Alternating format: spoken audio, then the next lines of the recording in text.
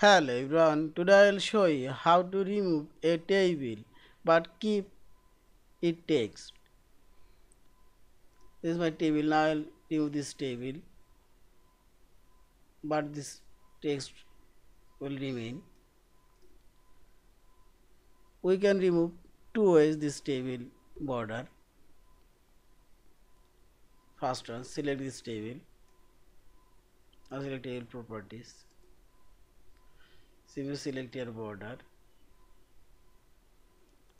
Select here.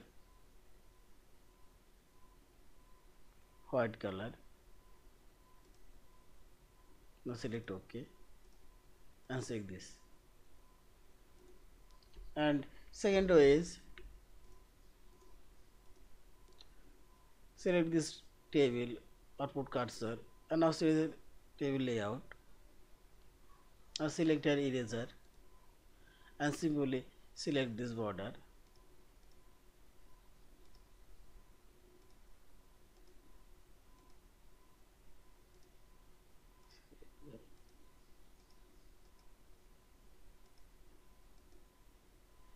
In this way you can remove all of this border as you like.